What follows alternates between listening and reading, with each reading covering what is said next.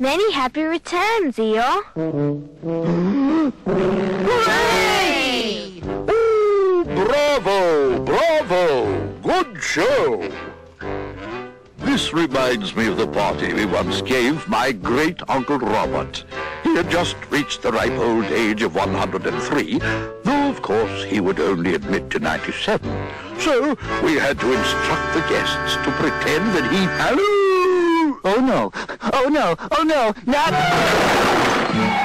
Tigger! Hello, Tigger. We're having a party. A party? oh boy, a party! Oh, Tiggers love parties! Oh, and cake! Oh,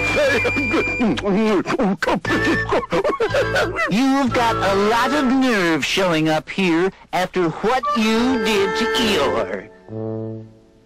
Hmm. W- Well, I think Tigger should leave.